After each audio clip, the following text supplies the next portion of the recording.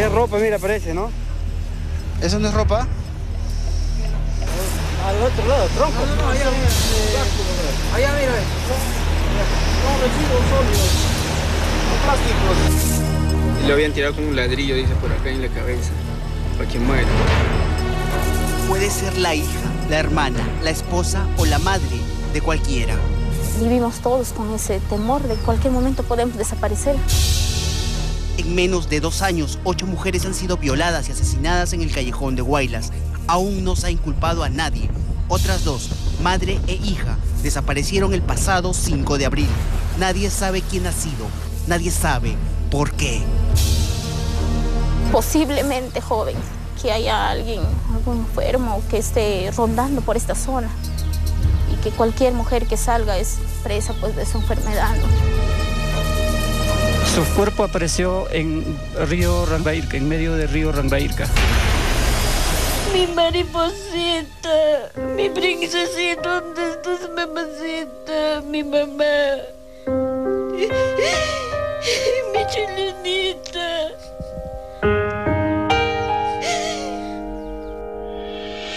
Estamos en la zona de Acopampa, Carhuaz, al ladito del río Santa, el caudaloso río Santa, buscando a Karina y a Jimena. Esperamos sinceramente encontrarlas a ambas con vida.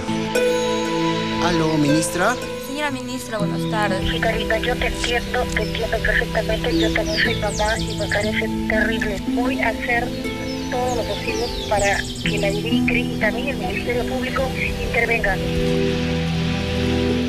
La belleza del callejón de Guaylas se ha visto ensomrecida por la muerte de sus mujeres y por el dolor de sus familiares que solo piden justicia. Miriam Balabarca. Presente. Elizabeth Bautista. Presente. Carmina Loza. Presente. Claudia Rojo. Presente. Liz Cántaro. Presente. Rosmel Colonia. Presente.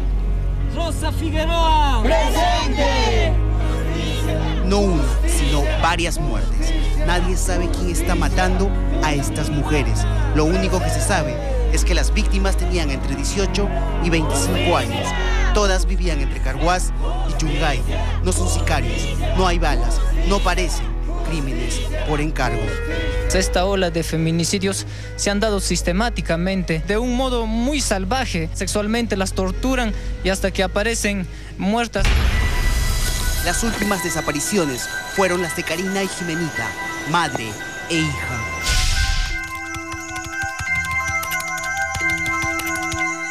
¿Cómo se llama? Jimena. Jimena. Jimena Milagros. Dale, dile. Hola. Hola, dile. Hola, Jimena. Hola, dile. Levanta tu manito, Jimena. Hola, dile. Jimenita estaba invitada a una fiesta infantil. Karina, su mamá, la alistó, le puso un vestidito y salió. Fue el sábado 5 de abril. Nunca llegaron a la fiesta. Ha pasado más de un mes y ni rastro de ambas. Yo la hacía corretear por toda esta pampa. Incluso a veces le hacíamos casita por ahí cuando no le gustaba ya. ¿Y ahora cómo para ti es ver esto sin ella?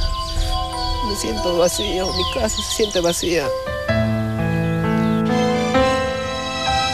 Edwin Figueroa es el papá de Jimenita. La ausencia de su pequeña hija y de su pareja se siente en cada rincón. Su bullicioso mundo de juguete se ha convertido de pronto en un nostálgico, angustiante y prolongado silencio. Ya me siento desesperado, no sé a dónde más buscar. Jugábamos a la tiendita, jugábamos y ella salía, salía por acá, por casi su boquita salía por acá ella. Liz Figueroa es la tía de Jimenita, pero la ama como si fuera su propia madre. Por favor, alguien que le ha visto a, a Karina y a Jimena, que nos avisen, por favor. Mamá Meche era feliz, pero ya no. Alguien le ha arrebatado a su nietecita y ella suplica se la devuelvan. Por favor, la recuerda en su cumpleaños, en su bautizo, cuando la cargaba, cuando bailaba con ella, de purita felicidad. Me voy a casa de mamita. ¿Qué cosa quieres, mamá? Panetón, leche, queso, fruna, gelatina. Todos sus caprichos yo le daba. ¿A usted le decía abuelita o mamita? No, mamá Chela. Nadie se explica cómo Karina y Jimena desaparecieron, abordaron un auto colectivo o un taxi. Lo cierto es que nunca llegaron a Acopampa, a 20 minutos de Carhuaz, el lugar donde se celebraba el cumpleaños del hijo de su gran amiga, el lugar a donde fuimos. ¿Fue cumpleaños de quién? ¿De tu hijito? Sí, de mi hijito. ¿Tú invitaste a Karina? A Karina, sí, ya la invité. Porque es mi amiga, ¿no? Por eso la invité. Sí, pero ella nunca llegó a la fiesta. Por eso Edwin cada día sale a buscarlas. El apoyo de la policía carguacina es insuficiente. Este es sector sur de la provincia, Carhuaz, ya para salir hacia Huaraz. No, es una zona in- inaccesible, ¿no? Bastante, así como usted lo ve, este, imagina, se están observando parte baja y toda esta zona eh, ya no se ha peinado. Es un abismo, ¿no? Es un abismo hacia el río de acá, imagínese. Por lo general, cuando han habido desaparecidos, en esta zona han encontrado los cuerpos. Claro, muchas veces.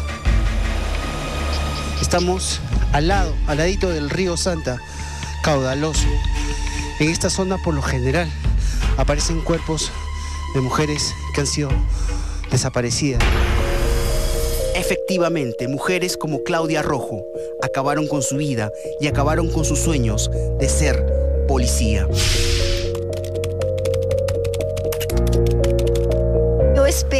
Espera y no ha vuelto mi, herma- mi hija Claudia. Claudia se estaba preparando para ser policía y para eso se entrenaba. El viernes 15 de noviembre del año pasado salió a correr. En plena calle, ella desapareció. Desaparece viernes, sábado, domingo, era su cumpleaños. 22 años iba, iba a cumplir. Mi hija Claudia me está mirando ahorita, ahí está. Ella con ella siempre hemos andado, Señor. ¿Por qué me quitan el gente malo? Mi, mi hija, mi hija Claudia. Oh, Señor. El señor Balabarca enciende el aparato que está sobre la mesa, escucha la voz de su princesa y el corazón se le encoge. Miriam estaba a punto de estrenar un nombre artístico cuando una mente enferma la asesinó.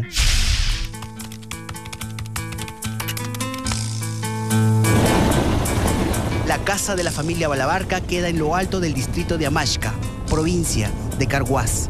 Está ubicada exactamente juntito al cielo. Para llegar allí hay que atravesar trochas, cuyes Maña, uy. y patos. Faustino Balabarca recuerda que el mismo día que Miriam había regresado de Lima, ese mismo día la mataron. Recuerdan que ese día recibió una misteriosa llamada telefónica.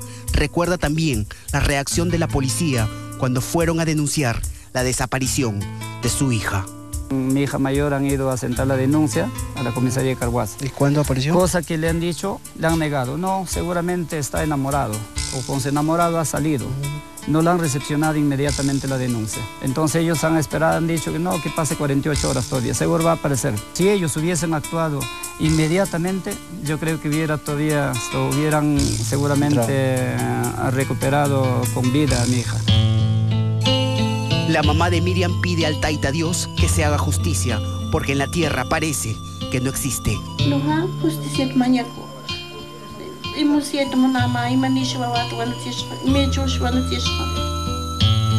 Miriam salió cantante porque su padre es músico. Antes tocaba de alegría, hoy toca bajo el influjo de la tristeza y la melancolía.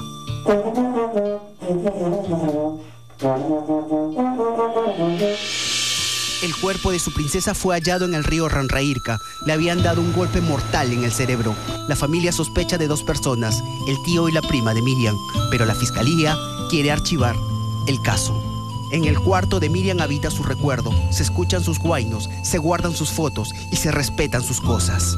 Y a ella no le gustaba que agarremos sus cosas. Ah, por eso- es que por ese- ese aviso. No agarren mis cosas, por favor.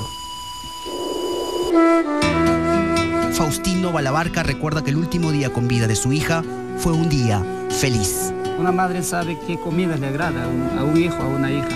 Mucho le gustaban los cuyas. Los cuyas. Entonces ese día preparó una cuyada, nos hemos servido y muy contento, muy feliz, muy alegre. Hoy papá y mamá se secan las lágrimas y tratan de consolarse.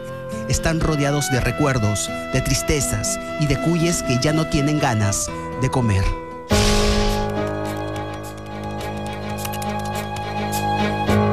Elizabeth desapareció cuando salía de su instituto, estudiaba enfermería, quería ayudar a su prójimo, quería curar y atender a los enfermos. Un salvaje la ultrajó, la mató y arrojó también el cuerpo al río Ranrairca. La encontraron así amarrado, en esta forma y así amarrado, con su chompa. Le habían tenido asfixiado, le habían tenido, no, no había muerto todavía, la habían tenido ahí agonizando y como no, ella no se había muerto, dice, lo habían, según ellos decían que lo habían tirado con un ladrillo, dice, por acá en la cabeza, para que muera. Eder Bautista, hermano de Elizabeth, también viene de Yungay. Le indigna que después de un año la justicia no haga honor a su nombre. Le indigna que los fiscales les digan que no hay tiempo, que hay otros casos que atender. Al mismo fiscal le decíamos, aquí señor, si es tu hija, ¿qué harías? ¿Y qué decía el fiscal? Yo sé que tú, como ustedes tienen plata, yo sé que al toque, hoy o mañana ya le encuentran al, al culpable. Pero no es justo que nos hagan así a un ser humano que no...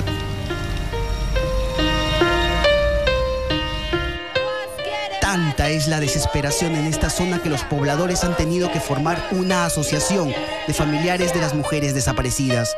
Los padres de Elizabeth, la estudiante de enfermería, integran este grupo. Ella se hizo esta foto en- justo en el cementerio. En el cementerio en Yungay. Para el Día de la Madre ella no me dejaba. Mamita, feliz Día de la Madre, diciendo, apenas que amanece, llegaba. Sí, señor.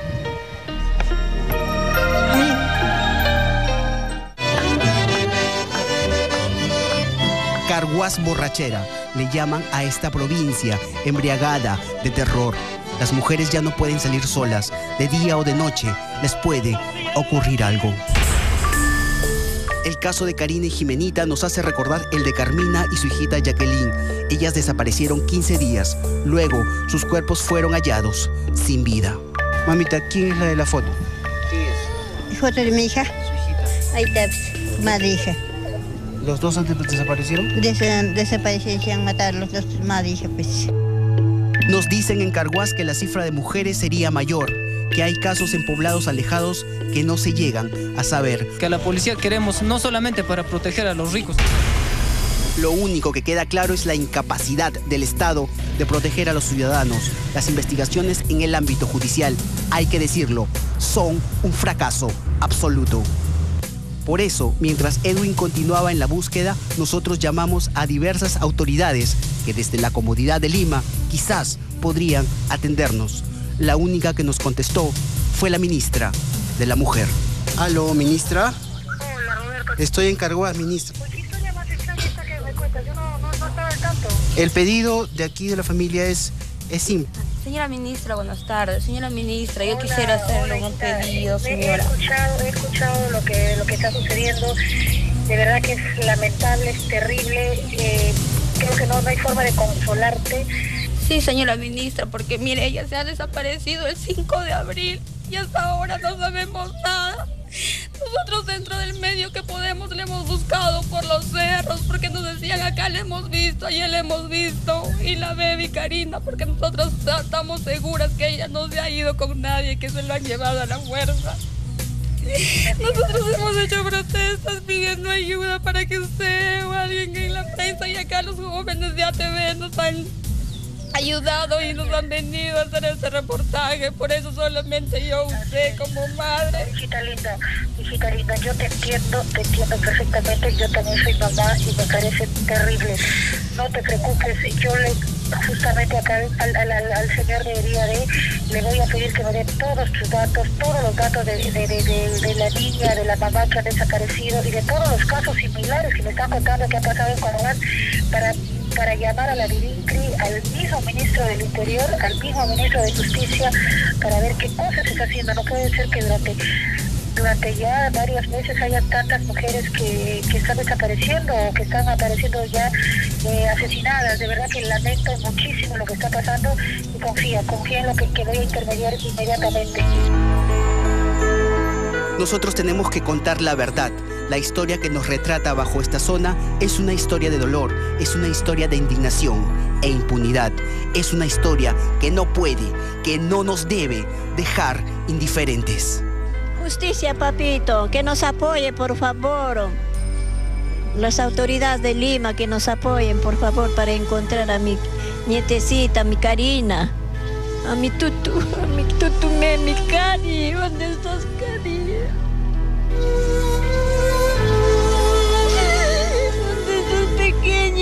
princesita.